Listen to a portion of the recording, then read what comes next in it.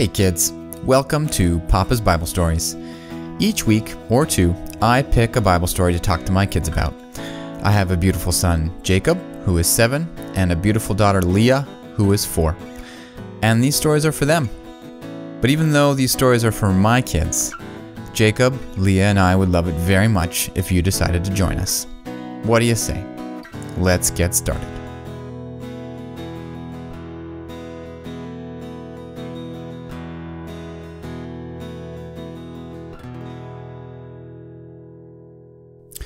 Okay, so last week we were talking about Noah.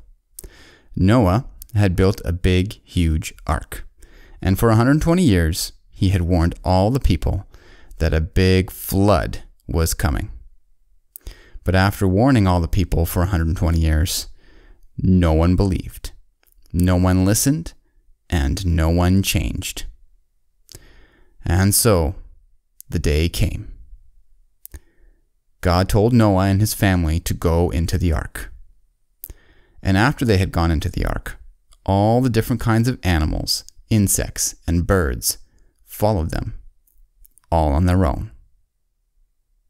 And after everyone and everything was safely in the ark, the big door on the side of the ark started to close, all on its own. God had told the animals to go into the ark, and God was closing the door and the door closed with a big, loud thud. The people outside the ark must have watched all this with eyes wide open and jaws dropped. Had Noah been right? Should we have believed him? What was going to happen next? Well, as soon as the door closed, the people must have felt their hearts in their stomachs and felt scared and maybe even sorry. And they were watching very carefully for the flood to come. But then, nothing happened. Then the sun went down at the end of the day, and people went to bed thinking maybe something would happen overnight. But the sun rose the next day, and nothing had happened. And the whole next day went by and the next and the next. Six whole days went by, and nothing happened. By then, Noah must have started to look a little silly, being cooped up in that ark with all those animals and with nothing happening. And by the seventh day, the people weren't feeling scared or sorry anymore. And the Bible says that they had all gone back to their normal lives lives full of evil and violence. But on the seventh day, something started to happen. The winds started to blow. The skies got dark. Lightning crackled in the sky, and the thunder boomed. And then, for the first time ever, it started to rain. And by rain, I mean it rained. The Bible says that the windows of heaven were opened. The Bible also says that the fountains of the great deep were broken up. So water was coming down from the sky like crazy, and from the ground too. Big, huge jets of water, like a hundred fire hoses, shot up in the air.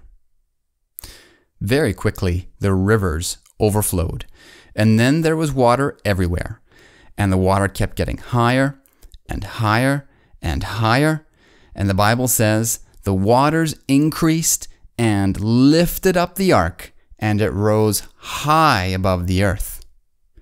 And the water kept getting even more higher until it covered all the mountains, and there was no land anywhere on the whole earth. And the Bible says, all flesh died that moved on the earth birds and cattle and beasts and every creeping thing that creeps on the earth, and every man, everyone, and everything that was not in the ark died. For 40 days, which is over a month, it rained without letting up. And then, on the 41st day, the rain stopped and the sun came out. And Noah would have opened the small window on the side of the ark to look around. And he would have seen blue water in every direction. The whole world was underwater. And for three and a half months, Noah, Noah's family, and all the animals bobbed calmly in the sun on the open blue water. After the three and a half months, the Bible says that God made a wind to pass over the earth. Now, why would God cause a wind to pass over the earth? Well, when wind blows on water, the water evaporates. When the water evaporates, it disappears into the air and causes the water level to go down. So, this was God's way of starting to get rid of some of the water. But when a strong wind blows on an ocean or a lake, what happens? That's right, waves. A strong wind on the water causes waves, and the stronger the wind, the bigger the waves. And the waves must have started to rock the ark up and down and side to side, knocking people and animals over and making people sick. Now, have you kidsos ever been in a boat with an animal? Like, say, a dog? I'm pretty sure you kidsos have been in a boat with a dog at least once before. Maybe in your great uncle's boat with his dog? Now, not all dogs, but most dogs, just like most animals, get pretty scared just being in a boat. They don't like it at all. Never mind being in a boat when there's huge waves. Now try to imagine what it would have been like in the ark when the big, huge waves started. Can you imagine being in a boat with a scared lion or a petrified rhinoceros? Can you imagine being in a boat with thousands of these animals? When the wind started, it must have been crazy inside the ark. Absolute chaos. But God hadn't forgotten about Noah and his family. He was still watching over them. And just like how God took care of them when the flood came, He was going to take care of them now. And so, God guided the ark so that it was floating just above a mountain. And as the waters went down a little bit, the ark came to rest on top of that mountain. And once the ark was resting on the mountain, the waves wouldn't have been able to rock the boat back and forth anymore. Whoa! I bet they were super happy when the ark rested on that mountain and they stopped getting thrown around everywhere. But outside, the wind continued to blow and blow, and the water continued to go down and down. Two and a half months after the ark rested on the mountain, Noah looked out the window one day and saw land. He could just make out the tops of some mountains. They all must have been so happy. It was the first time since the flood started seven months ago that Noah and his family had seen anything out the window but water.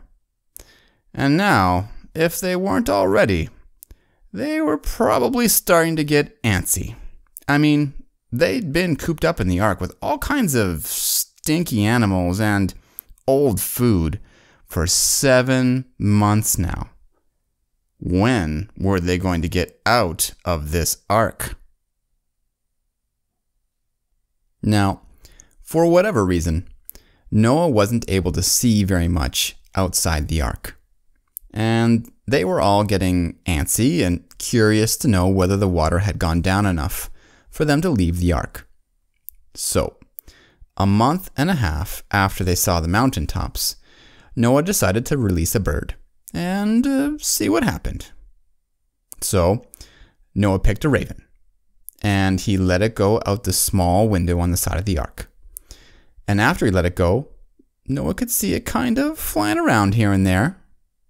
So, Noah waited a week and decided to release another bird. This time, a dove. And the dove flew around for a little while and came back to the window.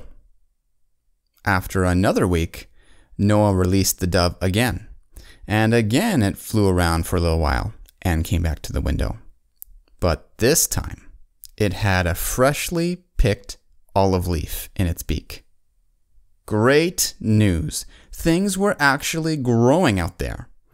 So it was finally time to get out of this ark, right? Well, not quite. God had told them when to go into the ark and had closed the door of the ark. And Noah was going to wait for God to tell them when to leave the ark.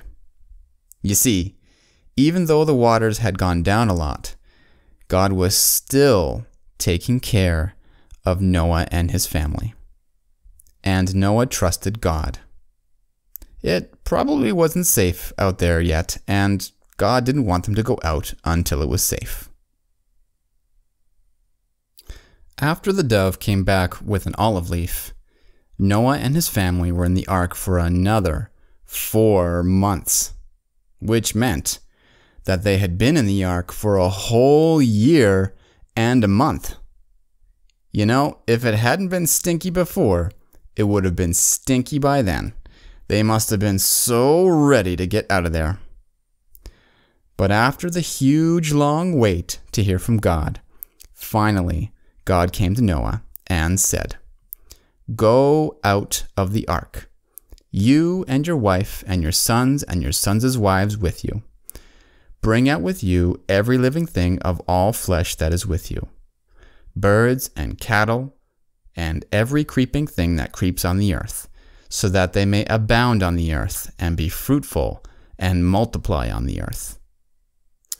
At last, it was time to leave the ark. The door opened, and Noah, his family, and all the animals, birds, and insects burst out of the ark. They would have breathed in the fresh air, felt the ground with their hands and feet, and ran around in the nice open space. God had saved them and been so good to them and they were so thankful. As a way of saying thank you to God, the Bible says, Then Noah built an altar to the Lord, and took of every clean animal and every clean bird, and offered burnt offerings on the altar. And God saw how thankful Noah was, and saw the offerings that Noah had offered. And then God did something amazing. God said, I set my rainbow in the cloud, and it shall be a sign of the covenant between me and the earth. And I will remember my covenant, which is between me and you and every living creature of all flesh. The waters shall never again become a flood to destroy all flesh. Noah and his family looked up and saw the very first rainbow. Do you kiddos remember the first time you saw a beautiful, bright rainbow? It was something, wasn't it?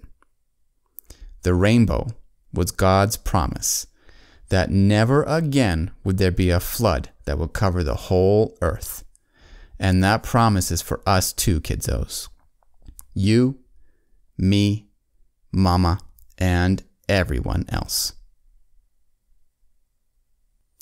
But for us, 6,000 years after the flood, the rainbow has another meaning.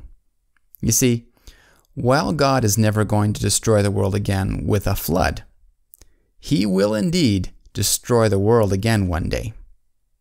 You see, the world will again become evil and corrupt and violent. But this time, instead of God's people going into an ark, God's people are going to go to heaven.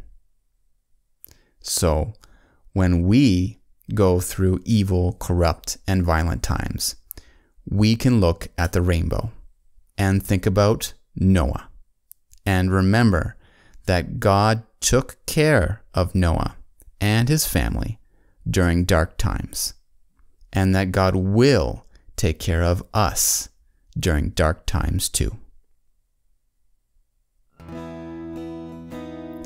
All right, kidzos, that's it for this episode. So, what do you guys think about the story? A lot of crazy stuff happened, right? Well, in a week or two, we're going to pick up the story again with the Tower of Babel. And to all the kids tuning in, I hope you have an awesome day. God be with you, and I hope we'll see you next time. Bye bye.